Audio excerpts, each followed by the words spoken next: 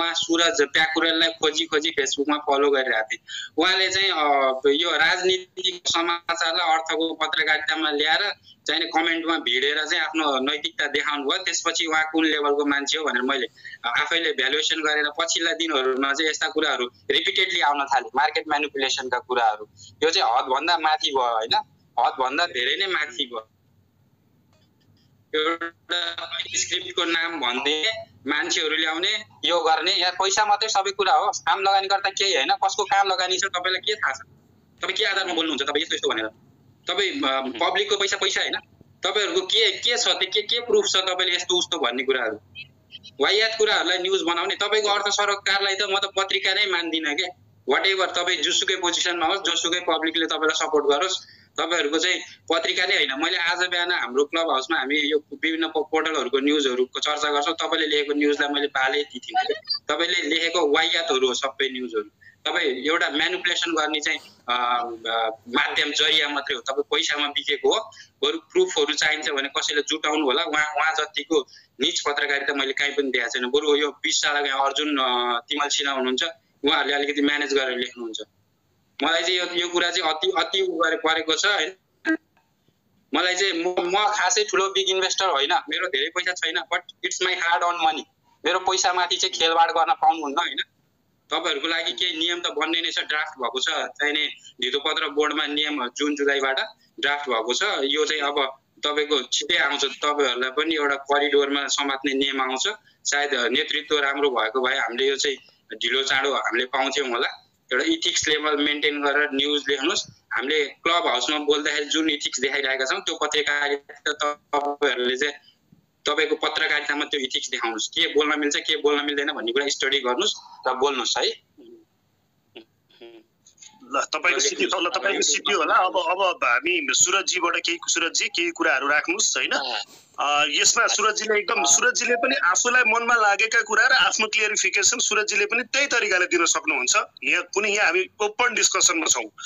सुरजजीले आफूले आफूले आफूलाई डिफेन्स गर्नुपर्ने केही छैन। जे जे गर्नु भएको छ तपाईँले जे देख्नु भएको छ तपाईँले जे लेख्नु भएको छ तपाईँले हेर्नुहोस् आफ्नो गति छैन भनेर जसले जे भने पनि केही फरक पर्दैन होइन? तर तपाईँले पनि आफ्नो क्लियरिफिकेसन दिनुहोस् जुन चिजहरूमा चाहिँ अडियन्सले पनि केही सुन्न चाहनु भएको हुनसक्छ होइन?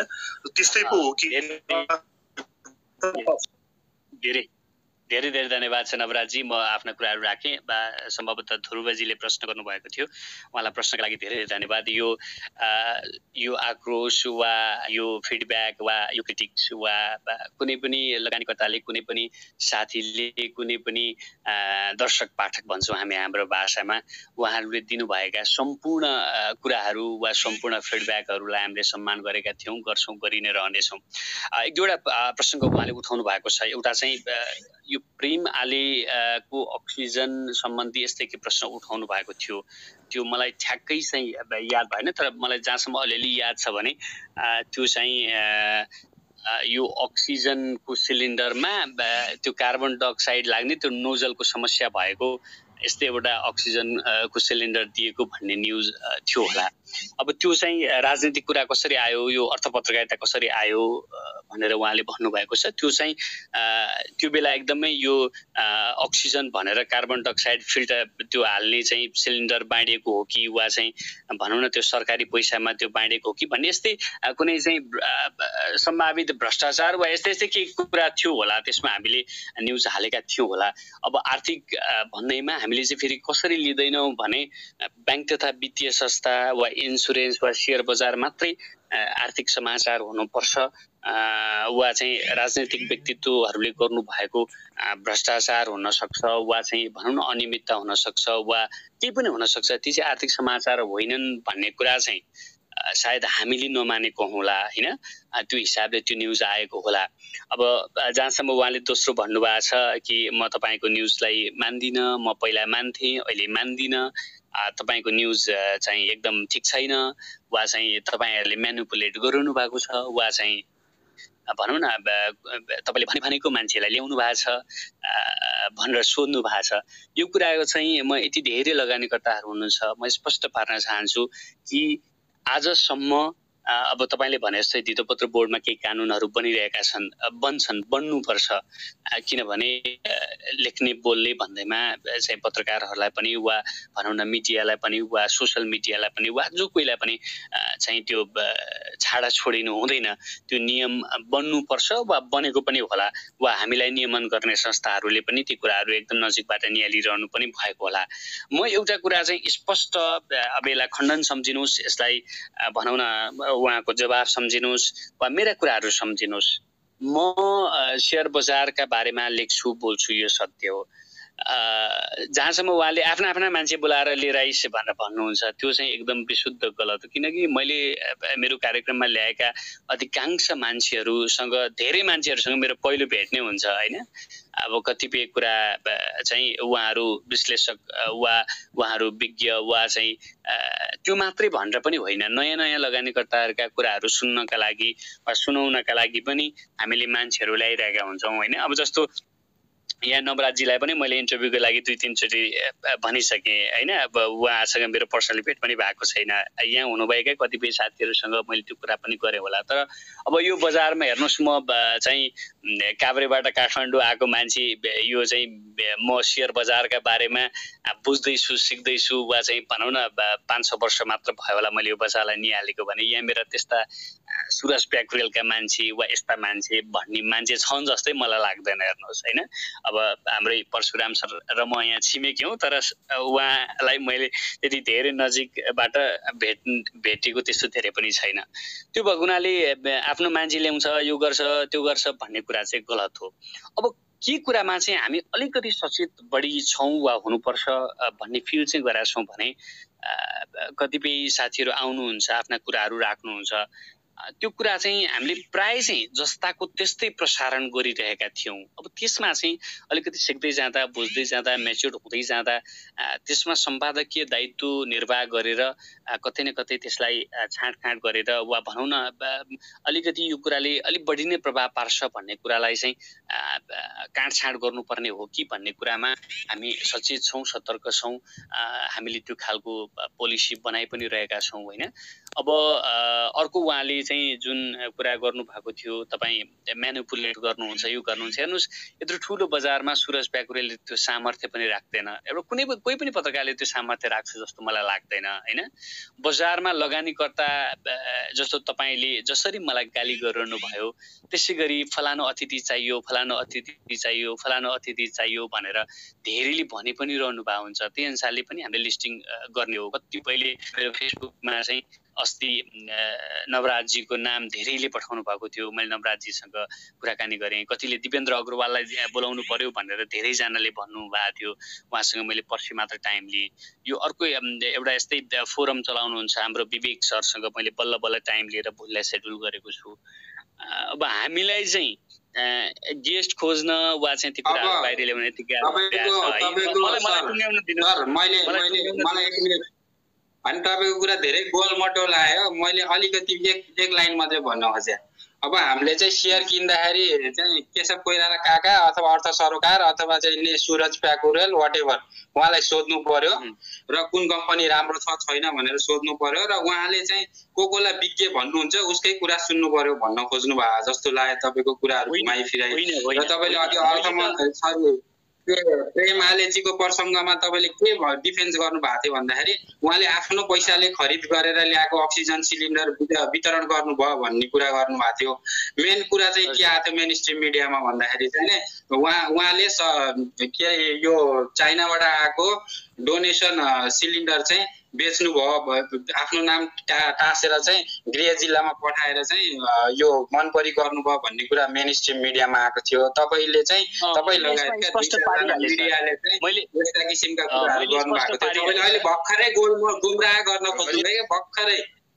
ल मैले सकेँ म सकेँ। मैले स्पष्ट पार्न तपाईँले भन्दा भन्दै मैले त्यो न्युज हेरेँ यहाँ अहिले होइन। मैले स्पष्ट पार्न खोजिहालेँ कि प्रेम आलेको जुन त्यो न्युज थियो त्यो बेला चाहिँ हामीले उहाँसँग कुराकानी गरेर उहाँको भनाइसहित हामीले यो चाहिँ मैले यसरी किनेको हो भनेर उहाँले चाहिँ त्यो बिल पनि देखाउनु भएको थियो। त्यही आधारमा त्यो न्युज बनाएको हो एउटा कुरा। अब दोस्रो कुरा चाहिँ तपाईँले जुन चाहिँ केशव कोइरालालाई सोध्नुपर्ने हो वा सुरज प्याकुरेलाई सोध्नुपर्ने हो वा कसैलाई सोध्नुपर्ने त्यो कुरा त मैले अघि नै पनि भने सर कुरा सबैको सुन्न पनि पाइयो नसुन्न पनि पाइयो निर्णय आफूले गर्ने हो अध्ययन आफूले गर्ने हो कसैलाई सोधेर कसैले चाहिँ यहाँ चाहिँ भनौँ न तपाईँलाई यो सेयर राम्रो यो सेयर नराम्रो भनेर भनेकै आधारमा किन्दाखेरि न हो नि मान्छे फस्ने त नि। त्यो भएको हुनाले आफूले सो निर्णय गर्नु पर्यो। कुरा सबैको सुन्ने कुरा ठिक लाग्छ भने त्यसलाई अनुसरण गर्ने ठिक लाग्दैन भने त्यो कुरालाई चाहिँ त्यति धेरै मान्यता नदिने। अब कतिपय कुरा मलाई ठिक लाग्छ तपाईँलाई ठिक नलाग्न सक्छ तपाईँलाई ठिक नलाग्न सक्छ मलाई ठिक लाग्न सक्छ। त्यो त अब मान्छेको भूमिका वा भनौँ न त्यो ठाउँ हेरेर पनि होला होइन? त्यो भएको हुनाले चाहिँ मैले भने नि तपाईँले मलाई त के सोध्नुहुन्छ र मलाई चाहिँ त्यो कुन सेयर किन्ने बेच्ने भन्ने कुरा चाहिँ त्यति धेरै आइडिया हुने मान्छे होइन म होइन? मैले अघि नै पनि भनिहालेँ। अब कसलाई सोध्ने वा विज्ञलाई सोध्ने सोध्ने होइन। कुरा सुन्ने सुन्न मन लाग्छ। जस्तो अब तपाईँहरूले क्लब हाउस कति धेरै चलाउनुहुन्थ्यो म हरेक दिन सुन्छु। किन सुन्छु भने मलाई मनपर्छ। म तपाईँहरूका कुरा चाहिँ यी यस्तो रहेछ भनेर बुझ्छु बुझ्न चाहन्छु। तर त्यसो भन्दैमा यहाँ स्पिकरले जे भन्नुहुन्छ म त्यो मैले गएर त्यही सेयर किन्ने वा त्यो सेयर बेच्ने भन्ने त हुँदैन। तपाईँले चाहिँ अब मलाई यहाँ गाली नै गर्ने वा अर्थ सरकारलाई गाली नै गर्ने नै मनसाय बोकेर आउनु भएको हो भने त अब तपाईँ गाली गर्नुहोस् म सुनि नै रहन्छु होइन? तर चाहिँ के हो भने कसैलाई सोध्नु पर्दैन।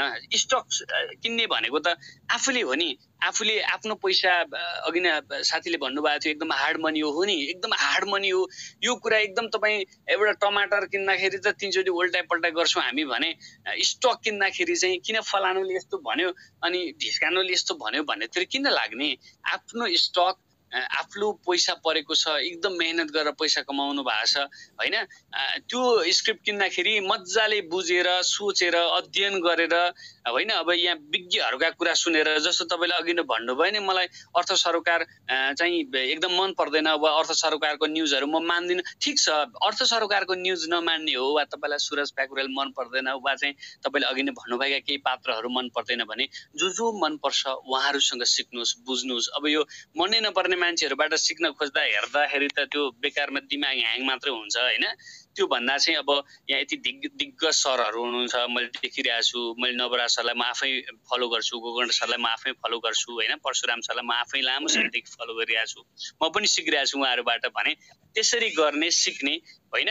अब तपाईँहरूले जस्तो के चाहिँ तपाईँहरूसँग चाहिँ म फिडब्याक अपेक्षा गर्छु भने जस्तो सुरजी तपाईँले हाल्नुभएको यो न्युजले चाहिँ अलिकति असर गर्यो है। यसलाई यसरी गर्दा कसो होला भनेर धेरैजना लगानीकर्ताले त्यसरी पनि फिडब्याक दिनुहुन्छ। यसरी नै हामी परिपक्व बन्दै जाने हो बजार परिपक्व बन्दै जाने हो होइन? एउटा क्वेसन हजुरलाई राख्न चाहन्छु कुनै ऊ होइन। मैले हजुरको न्युजहरू हेर्छु होइन?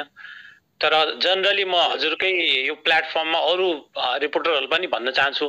तपाईँहरूकोमा एउटा के भने तपाईँहरूको होइन जनरली मैले यहाँ जसले जसले पनि रिपोर्ट बनाउँछ उनीहरूले एउटा क्रस क्वेसनहरू देखाउनु पऱ्यो क्या। तपाईँहरू पनि आफू एउटा के भने इस्टाब्लिस कसरी हुन्छ भने तपाईँहरूले न्युज त लिइदिनुहुन्छ कसैलाई इन्टरभ्यू लिँदा पनि उनीहरूको क्वेसनहरूलाई सरसर्ट इजीमा लिइदिनुहुन्छ। त्यो गर्नु भएन कि। जो मान्छेलाई तपाईँले क्वेसन लिनुहुन्छ त्यो मान्छेले तपाईँ पहिला त्यो मान्छेलाई तपाईँले नेगेटिभ सम्झेर तपाईँले क्वेसन गर्नुभयो भने त्यो क्वेसन काहीँ न काहीँ त्यो करेक्टमा आउँछ होइन? होइन त्यसलाई चाहिँ एकदम बढाइ चढाइ लिएर तपाईँले गर्दाखेरि चाहिँ काहीँ न काहीँ त्यो इफेक्टेड हुन्छ। म इक्जाम्पल कसरी दिन्छु भने लेट्स से कसैले आजको मार्केट उन्तिस सय छ भने भोलि तपाईँले कसैलाई बोलाउनु भयो भने त्यो व्यक्तिले चाहिँ त्यो पैँतिस सय पुग्छ पाँच दिन भन्यो भने तपाईँले माग्नु पऱ्यो कि उसँग one two three four five point they भनेर इक्जाम्पल मैले इक्जाम्पल मात्रै दिएको हजुरलाई। उसले चाहिँ त्यस्तो दियो भने भोलि तपाईँको लागि राम्रो। जुनै पनि व्यक्तिलाई तपाईँले इन्टरभ्यू लिनुहुन्छ भने त्यो व्यक्तिको तपाईँको नजरमा नेगेटिभ तरिकाले तपाईँले त्यसलाई क्रस क्वेसन गर्न सक्नुपर्छ। त्यो एउटा चाहिँ रियल रिपोर्टरको काम हो। चाहे त्यो व्यक्ति रिसाओस् त्यसलाई सुरुमा तपाईँले सरी भन्नुहोस् लास्टमा सरी भन्नुहोस् तर बिचमा तपाईँले सोध्ने क्वेसन चाहिँ त्यस्तो हुनुपर्छ। तपाईँलाई मात्रै भने होइन मैले यो जनरल पुरै प्लेटफर्ममा भनेको रिपोर्टर चाहिँ त्यसरी चल्नुपर्ने हो सर तपाईँले भन्नुभएको चिज चाहिँ खासमा पत्रकारिता हुनुपर्ने नै त्यही हो खासमा इन्टरभ्यू हुनुपर्ने नै त्यही हो। एकदमै चाहिँ प्रश्न अलिक बढी प्रश्न क्रिटिकल प्रश्न हुनु भन्ने नै हो होइन? भलै अब त्यसमा मेरा केही कमी कमजोरीहरू पनि होला म हजुरको मात्रै होइन हजुरको मात्रै होइन। मैले हजुरलाई क्रस जनरल मैले देखाएको छु। पत्रकारिमा त आफ्नो खालि एउटा भ्यू बनाउनलाई चाहिँ धेरैले त्यो गर्छ। अनि काहीँ न काहीँ पत्रकारहरू पनि डराएर पनि हुनसक्छ। होइन? किनभने तपाईँहरूलाई अलिकति के भने यो व्यक्तिलाई फेरि मैले यसरी सोधौँला भोलि अर्को व्यक्ति इन्टरभ्यू दिन आउला भन्ने सोच्नुहुन्छ। हेर्नुहोस् त्यो नसोच्नुहोस्। तपाईँ लङ टाइम तपाईँलाई मात्रै मैले जनरल अरू पत्रकारलाई पनि भनेको छु। तपाईँको इन्टरनेसनल लेभलमा हेर्नुहोस् पत्रकारहरू कस्तो टफ हुन्छ उनीहरूलाई चाहिँ हेर्नुहोस् कति भ्युर आउँछ। भोलि चाहिँ किन हुन्छ भने उसले राम्रो काम गर्यो भने तपाईँले दसजनालाई चाहिँ तपाईँले भ्युवरले फाइदा होला तर सयजनालाई इफेक्ट गरेको हुन्छ। अनि यो स्पेसली यो सेयर मार्केट भनेको त तपाईँले देख्नुहुन्छ हेर्नुहोस्। तपाईँको एक एउटा सानो एउटा मिस्टेक एउटा मान्छेले बोलिदिनाले तपाईँको चाहिँ यत्रो मान्छेको चाहिँ लगानी नै एकदमै तलमाथि हुन्छ उतुल पुतुल हुन्छ तपाईँले देख्नुभएको छैन? तपाईँहरूले न्युज लेख्दा पनि तपाईँले मात्रै जनरल कसैले न्युज लेख्दा पनि यसको खण्डन गर्नु पर्यो कि? त्यसले चाहिँ कुनैले रिपोर्ट काहीँ गर्दैछ भने त्यसले रिपोर्ट गर्दाखेरि यसको चाहिँ एबिसी यो यो यस्तो थियो यो मार्केटमा यो कम्पनी यस्तो थियो यति प्राइस आएको थियो आज यतिमा गयो यसको फन्डामेन्टल यस्तो छ भने तपाईँले त्यो पनि राखिदिन सक्नु पऱ्यो क्या। किनभने तपाईँहरूको त्यो जनरल नलेजको कुरा हो क्या। राखिदिनु भयो भने मान्छेले एनालाइसिस गर्न सक्यो नि। तपाईँले हेडलाइन्समा एउटा टक्क राखिदिनुहुन्छ यसले फलानु यसो भने मात्रै लेखिदिनुहुन्छ। त्यो भयो त तपाईँहरूको रिपोर्टै भएन एउटा कपी पेस्ट गरे जस्तै भयो नि त्यो त होइन। अनि तपाईँहरूले इन्टरभ्यू लिँदा चाहिँ प्लिज म भन्छु कुनै पनि इन्टरभ्यू लिँदा त्यो मान्छेलाई तपाईँले यसरी डिबेट हुनु पऱ्यो कि त्यो मान्छेसम्म नेगेटिभ हिसाबले म एन्सर क्रस क्वेसन गर्छु। एटलिस्ट फाइभ पोइन्ट दिनु पऱ्यो। घट्दा पनि बढ्दा पनि। कुनै मार्केटकै कुरा गरोस् कुनै व्यक्तिकै कुरा गरोस् त्यो गर्दा पनि तपाईँहरूले त्यसरी गर्नु लङ लास्टिङ हुन्छ